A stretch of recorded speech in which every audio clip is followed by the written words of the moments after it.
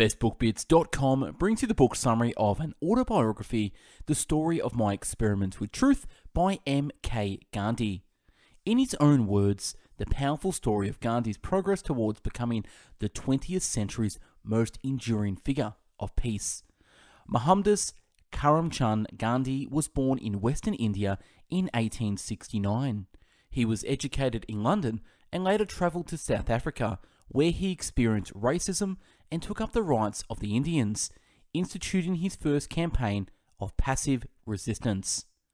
In 1915, he returned to British controlled India, bringing to a country in the throes of independence his commitment to non violent change and his belief always in the power of truth.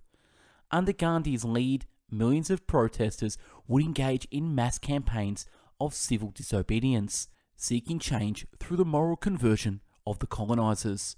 For Gandhi, the long path towards Indian independence would lead to imprisonment and hardship, yet he never once forgot the principles of truth and non-violence so dear to him.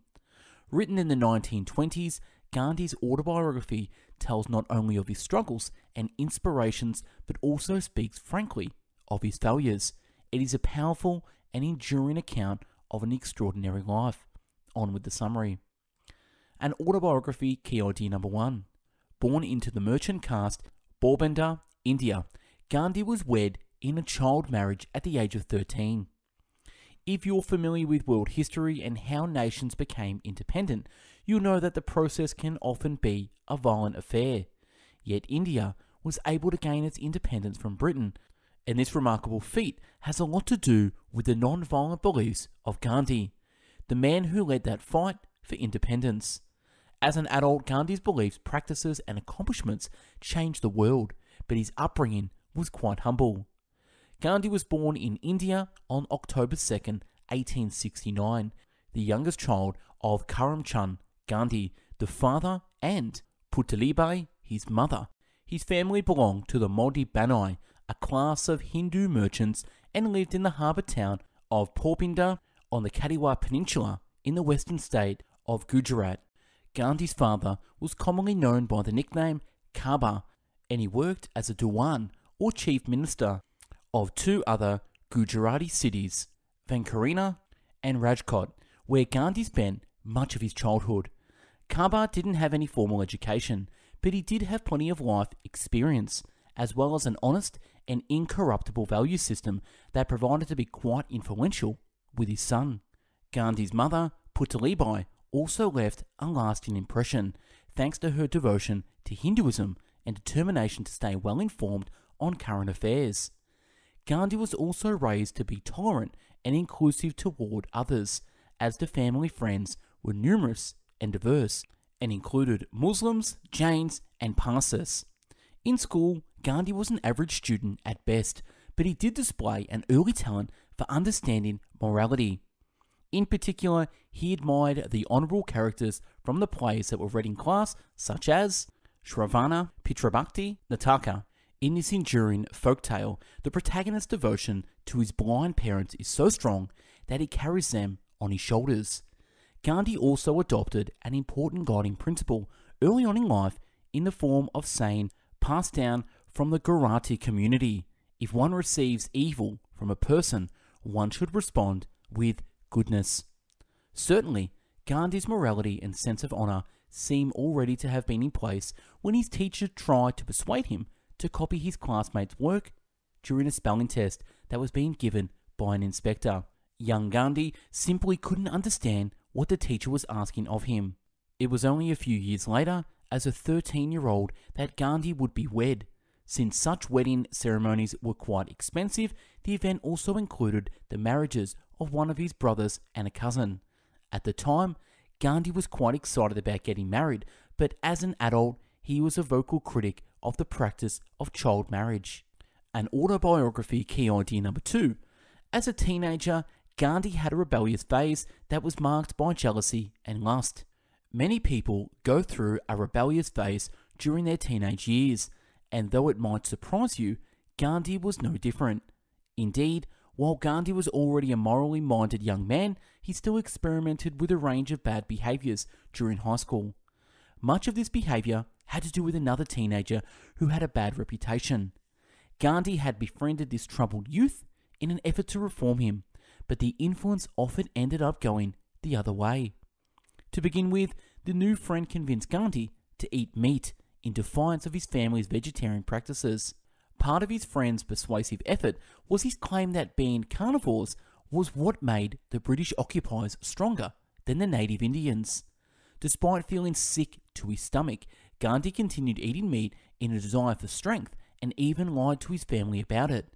The guilt, however, eventually became overwhelming and he stopped. He not only remained a lifelong vegetarian, he also believed that vegetarianism was the first step toward attaining truth through non-violence. Gandhi's devotion to his friend didn't stop at meat eating. He also followed him to a brothel, and even though his nervousness prevented him from having sex outside of his marriage, he considered the brothel visit a significant moral failing on his part. Another failing from around the same time was a smoking habit that Gandhi started alongside one of his relatives. What's worse is that the two of them stole money in order to buy Indian cigarettes. Gandhi also looked back with some regret on the jealousy and lust he felt in the early years of his marriage to his wife, Kasturba. When Gandhi reflects on truth, he sees it as the vessel through which God reveals himself to the world, and so he saw his passion for truth as fueling his desire to be faithful to Kasturba. But it also had a dark side in his demands for Kasturba to be as faithful as he was. Unfortunately, and for no reason, this resulted in him being a constantly jealous husband. Not only that, he was often driven by lust, taking every opportunity he had to sleep with Kasturba rather than doing something like teaching her how to read and write. When Gandhi was 16 years old, the power that lust had over him was so strong that he left the bedsides of his dying father to sneak into his wife's bedroom. By the time he returned, his father had passed away. An autobiography key idea number three. Despite the disapproval of his caste, Gandhi went to England to study law. Gandhi's experiences during his high school years was already beginning to shape his future beliefs about things like vegetarianism, celibacy, and non-violence. Following his graduation from a high school in 1887, his education continued after a friend suggested he study law at London's University College. After all, becoming a lawyer would help ensure that he could maintain his family's esteemed status. The decision to go to school in England wasn't made lightly, however. His mother wasn't sure it was a good idea, since the culture there would certainly provide him with many temptations in the form of women, food, and alcohol. To strengthen his resolve, Gandhi made a sacred vow, with the help of a monk, to abstain from women, meat, and wine. Matters were further complicated by India's caste system. The caste his family belonged to claimed it was against their religion to travel abroad, and therefore threatened to kick Gandhi out if he went to London to attend the University College. The threats, however, didn't sway Gandhi. While he did end up getting expelled from his caste, Gandhi's time in England was fruitful, as it allowed him to learn in ways that would serve him well in the years to come. Sure enough, there were plenty of temptations to eat meat in London, especially at the boarding house he was living in. Fortunately, he stumbled upon a fine vegetarian restaurant on Farringdon Street that allowed him to honour his vow and eat a satisfying meal. Gandhi eventually joined the Vegetarian Society and even started a local chapter in his London neighbourhood of Bayswater. This was also significant in that it provided him with some early experiences in how to run an organisation. These college years also taught Gandhi how to live frugally and get by while managing a tight budget. Perhaps more importantly, this time gave him the chance to cultivate his knowledge of law and religion. Gandhi proved to be an apt student, having no trouble with the curriculum, so he decided to challenge himself by going beyond the standard textbooks, and he even put in his knowledge of Latin to use by reading the Roman law in its original language. Meanwhile, Gandhi was also deepening his understanding of religion, with his studies including the Hindu scripture, the Bhagavad Gita, he also familiarized himself with the Bible and became particularly fond of Jesus' Sermon on the Mount and the passages in the New Testament about altruism. When the time came, Gandhi had no trouble passing his examinations. On June 10, 1891, he was called to the bar, making him an official barrister of the court. Two days later, he was sailing back home to India. An autobiography key idea number four. Seeking professional experience, Gandhi went to South Africa and saw the effects of racism firsthand. Alas, Gandhi's return home was not a happy one, and he soon found out that his mother had died while he'd been at university. Naturally, he was devastated by the news. There was, however, one small piece of good news awaiting his return. There'd been a major division among his caste, causing it to split into two, with one side willing to welcome him back into the fold. While Gandhi was officially a barrister, being a confident, practicing lawyer was another matter. In order to gain some much needed experience, Gandhi travelled to Bombay, where he began reading books and studying Indian law. Yet when the time finally came for him to present a case in court, he found himself paralysed by the shyness that had been with him for much of his life.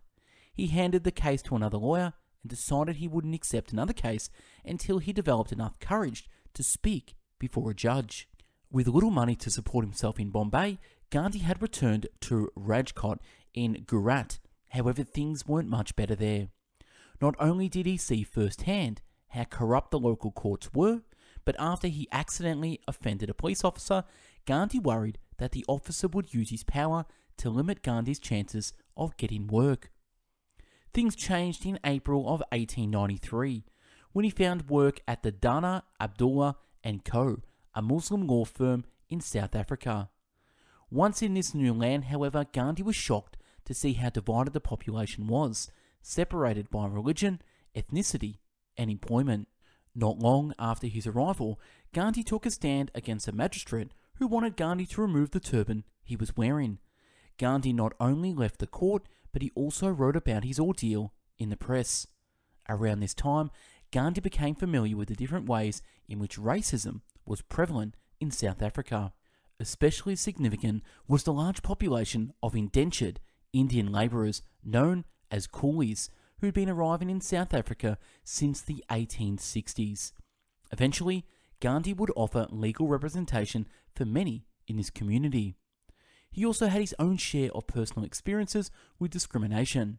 For example, while travelling by train to Pretoria to work a big case, he was asked to give up his compartment seat and move to the back section of the train, even though he bought a first class ticket.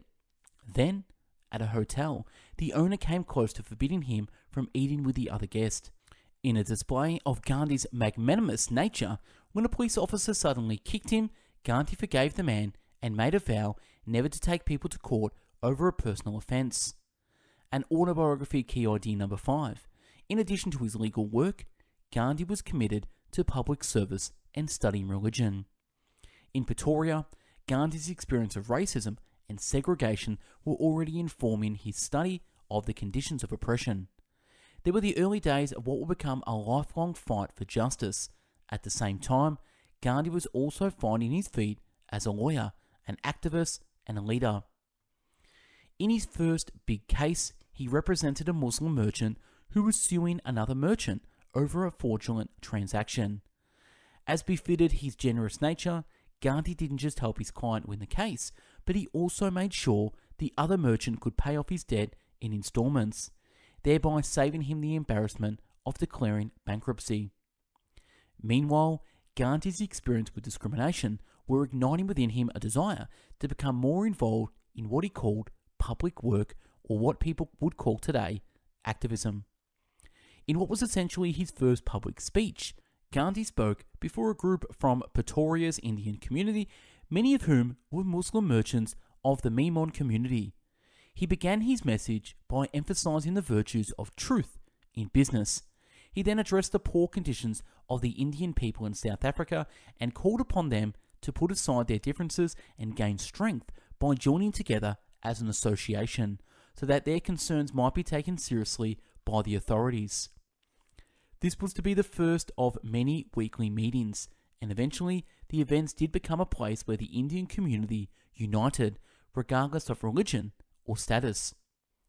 During his time in Pretoria, Gandhi also continued to study religion and literature. He found inspiration in many philosophical books like Tolstoy's The Kingdom of God is Within You, which makes a strong case for non-violent resistance.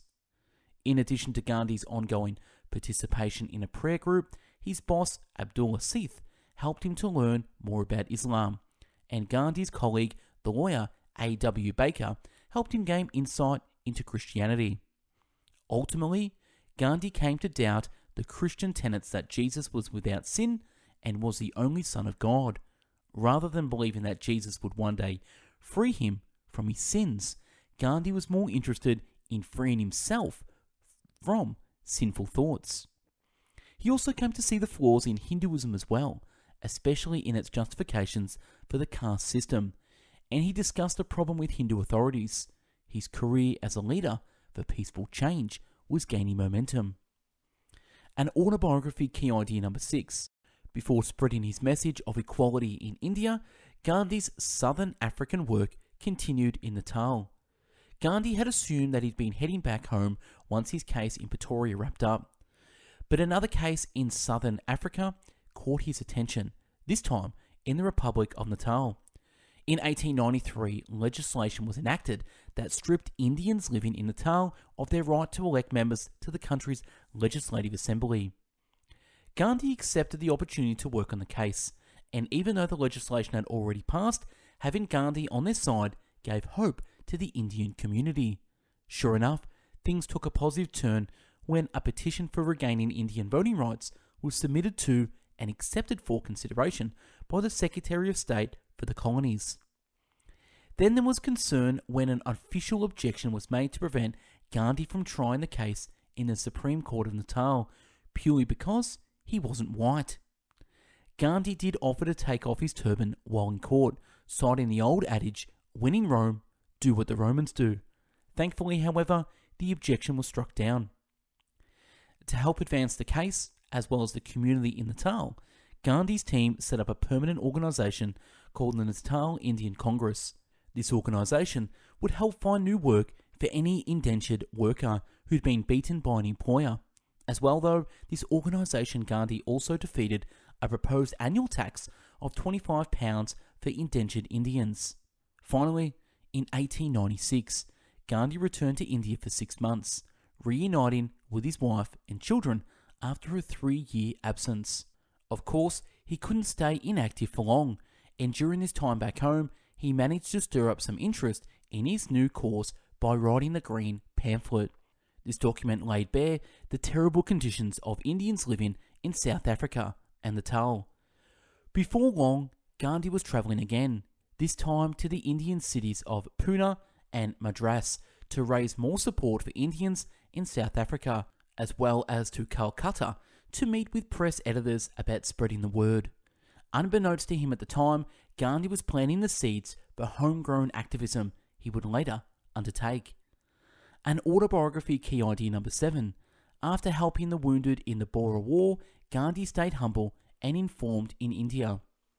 In 1897, Gandhi returned to Natal, and this time he brought his family with him. Unlike the novice lawyer who'd left India years before, he was now an established leader of the Indian community throughout southern Africa. This newfound role didn't come without its dangers, however. Enraged by press reports of Gandhi's efforts for change, a group of young white men tried to lynch him in the streets of Natal, though he managed to escape unharmed.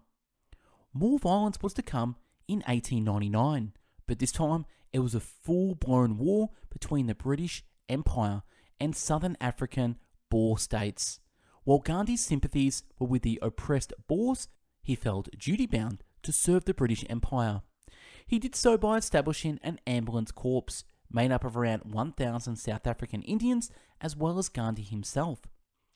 The tireless work of the ambulance corps did not go unnoticed following Britain's victory in the war. The Indian workers gained national prestige for their efforts, while Gandhi's political stature grew even further. And then there was the added benefit of a diverse group of Indian workers emerging from the experience more unified than ever before. Amid all this activity, Gandhi found himself making a good deal of money, and he was worried that he might succumb to the greed that often accompanies wealth. So he returned to his beloved India and volunteered for the Indian National Congress. It was a humbling experience, since it involved such menial tasks as buttoning up an official shirt.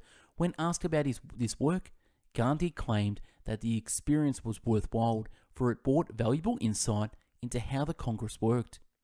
Meanwhile, Gandhi wrote a resolution on rights of the Indians in South Africa, and though he still suffered from terrible anxiety when it came to public speaking, he defended his resolution in front of Congress. Remarkably, it received unanimous approval. At this time, Gandhi found a new mentor, Gopal Krishna Gokhale, who served as a senior leader in the Indian National Congress. While living with him for a month, Gandhi got the chance to meet a variety of affluent Indians and raise the many concerns he had about the struggles facing working class Indians. At this time, with Gokhale and the Congress came to an end, Gandhi toured India as a third class passenger aboard a train. This gave him an honest perspective on the pressing issues at hand, including the poor sanitation and treatment that a great many people in India faced on a daily basis. More than ever, Gandhi's resolve to help the people of India was strengthening, as was his philosophy regarding how change should happen. An autobiography key idea number 8. Gandhi was committed to both non-violence and celibacy. Thanks to his time with Gokhale, his tour of India, and his years of study, Gandhi's experiences and observations were coalescing into a philosophy that would come to define his life and legacy. At the core of this philosophy was his unwavering belief in nonviolence or ahimsa.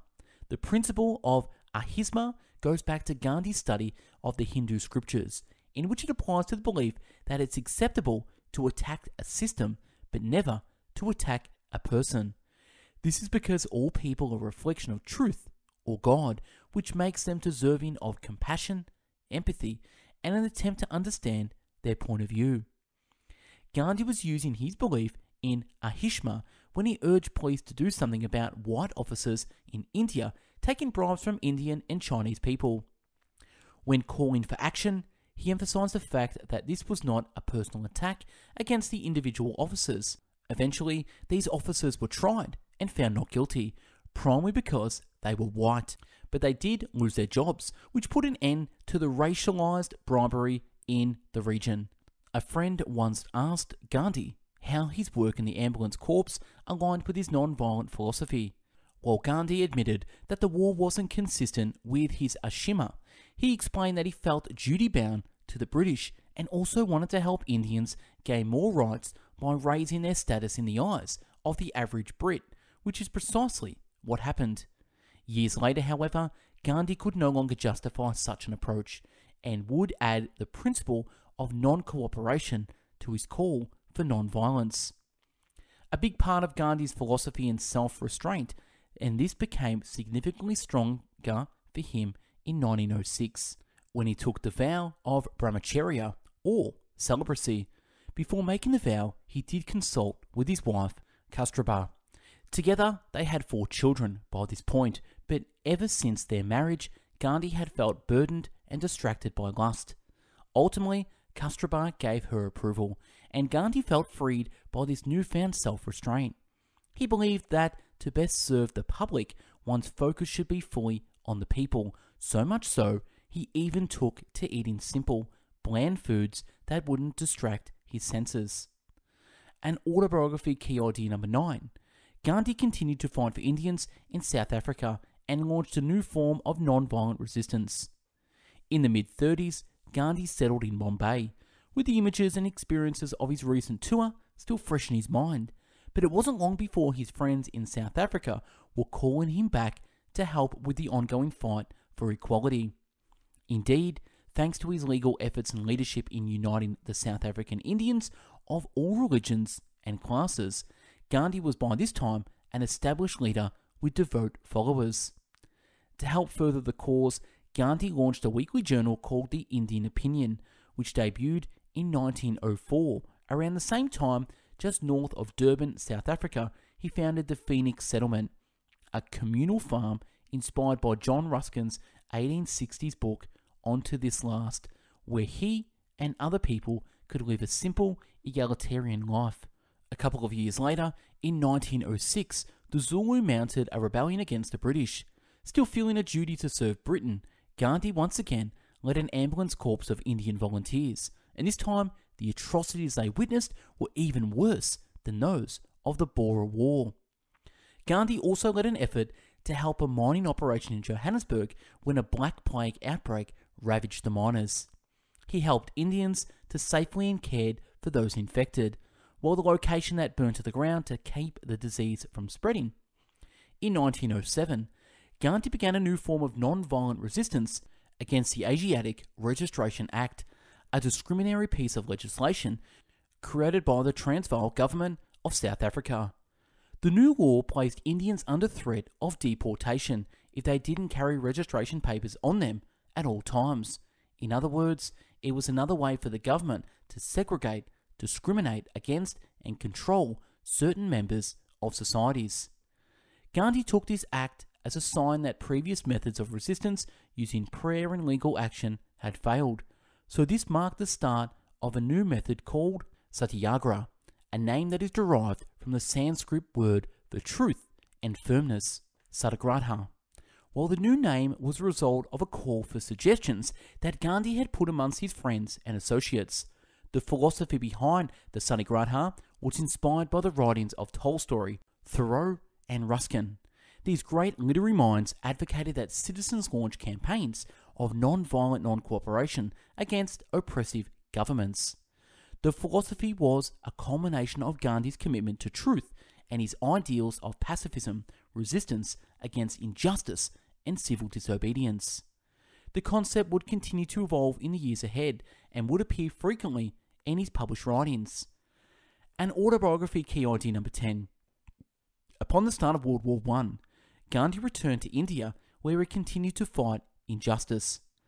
Amid his continued progress in South Africa, a series of events began to unfold that had Gandhi seeking the solace of his home in India.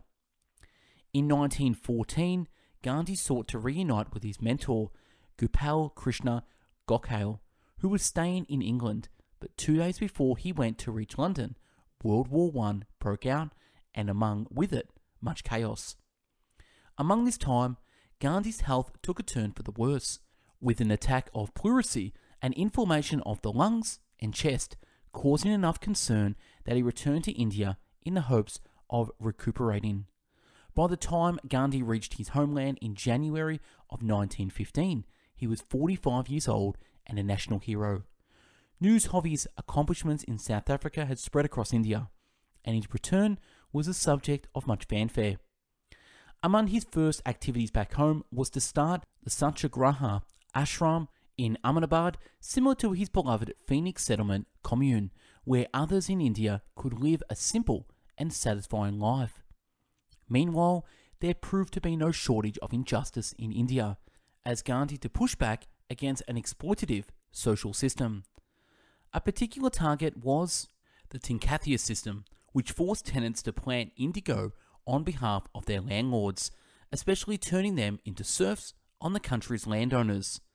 Gandhi took on this case after being approached by a man named Raj Kumar, who opened his eyes to this abusive and corrupt system. Reaction to Gandhi's involvement came quickly, as he was soon arrested and thrown in jail. But this was no detriment, since upon his release he continued to litigate for the tenants and eventually brought down the entire system. Remarkably, with pressure from Gandhi, the government finally abolished Tinkathia, a practice that had been part of, of India for over a century. Attention was then turned to the Rowlatt Committee, an organization that was in charge of evaluating political terrorism in India. They were in the process of pushing through the Rowlatt Act legislation, which would give the British Army the authority to arrest and detain Indians without producing any evidence for the cause. This called for satyagraha, and before the law was released, Gandhi put out a nationwide call for a day of fasting, prayer, and non cooperation. Although the bill would pass, Gandhi was still delighted with the massive response he received. It was just the start of what would become a series of nationwide movements.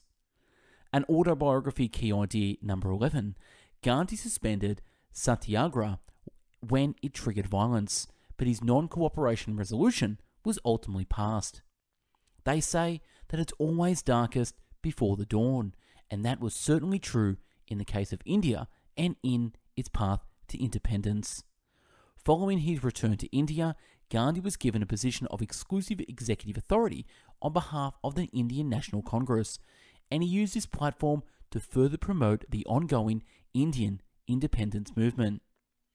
Gandhi also organized the printing and selling of banned books, such as the Gujarati translation of Ruskin's book Unto This Last, in order to raise money for the independence movement. However, on April 6, 1919, a protest against the Rowlatt Act turned deadly as police clashed with protesters.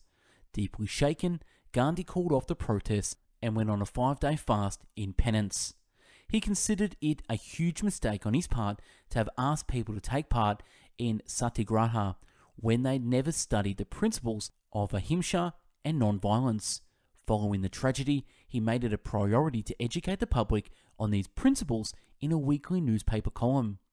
Another significant part of this movement was the salt satyagraha. Since the 1870s, there's been a heavy tax placed on salt, making it unusually expensive for Indians to obtain and putting a lot of money into the pockets of British colonisers.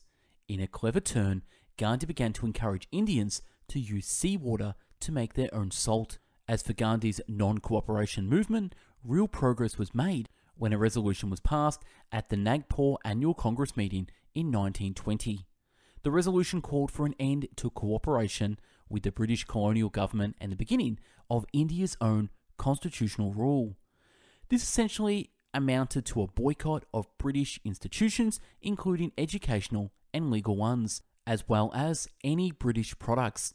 Instead of British textiles, Gandhi now advocated the use of khadi, homespun cloth, garments, and urged both men and women of all ages to spin cloth as a part of the independence movement. He also asked any Indians employed by the colonial government to quit their jobs. This is where Gandhi's autobiography comes to a close, though in many ways his movement for independence was just getting started. He believed that events such as the Salt March, which brought tens of thousands of people from across the country together, were so famous that they didn't need repeating.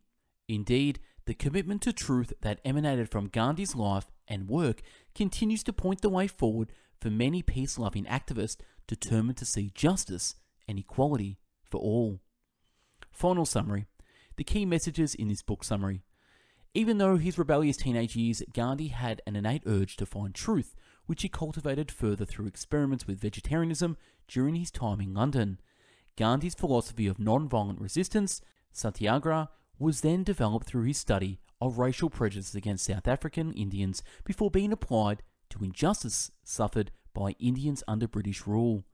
Always trying to understand the opposing side's perspective and continually developing himself through dietary or other measures, Gandhi and his quest for truth encouraged us to continue to question the world around us and the truth within ourselves. Actionable advice Regular exercise is critical for a healthy mind. Although Gandhi disliked sports as a child, from an early age he developed the habit of taking long walks. Throughout his autobiography, Gandhi emphasizes the importance of exercising in order to enhance one's work. Of course, for Gandhi, exercise went hand in hand with maintaining a good diet. While you might not want to follow Gandhi's more extreme experiments, like the time he only ate fruit and nuts, committing to a healthy diet and regular exercise can help you maintain a healthy mind. And that's wrap on this book summary of an autobiography by MK Gandhi. Now, if you want this summary in PDF format, click the link below and I'll send this straight to you. Now, at Best Book Bits, we've done over 700 book summaries in video, written, and audio format. So check us out at bestbookbits.com. Subscribe to the YouTube channel, hit the notification bell, and follow us on Spotify as well. Now, if you're sick and tired of reading books all by yourself, I have the solution for you. Come join us at our book club called Best Book Club. Go to www.bestbookbits.com forward slash book club, where you'll get one new book per month delivered to your door. We have weekly Zoom book club meetings, and you'll also meet the author of the month with our seminar webinar live Q&A. Hope to see you there. Thanks for watching and listening. Hope you got from this summary.